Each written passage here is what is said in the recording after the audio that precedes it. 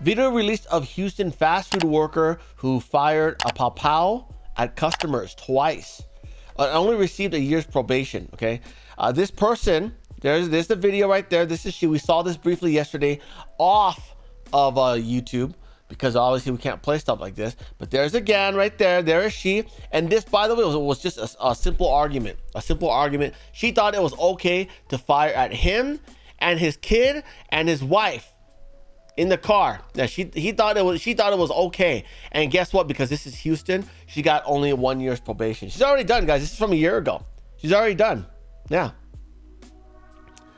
When Anthony Ramos picked up his six-year-old and wife Geraldine Ospina from Houston Bush Airport in 2021, he wanted two number twos, classic buttery jack, and some curly fries.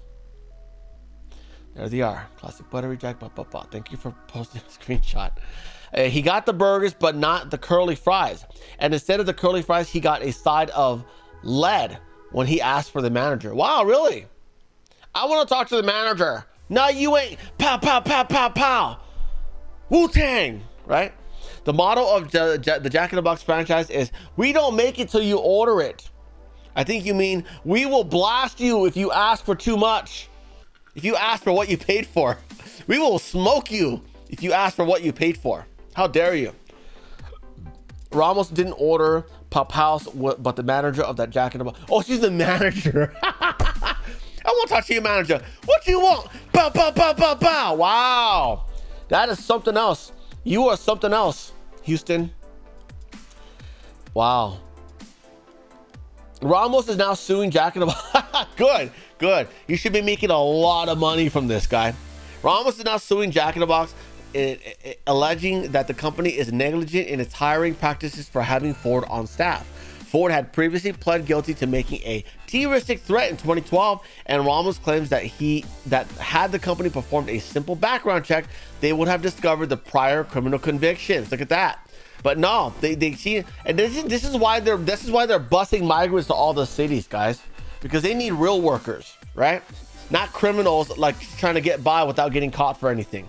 Good lord. Former employees Ford had the audacity to defend her actions with local news saying, that's not the whole story that they yelled, they telling. Wow, really? Tell me what validated you pow-powing at their family, huh? And she only got a, a year's probation. Okay. At the very see, this is what you gotta start doing. You gotta start bleeding these companies out. Okay.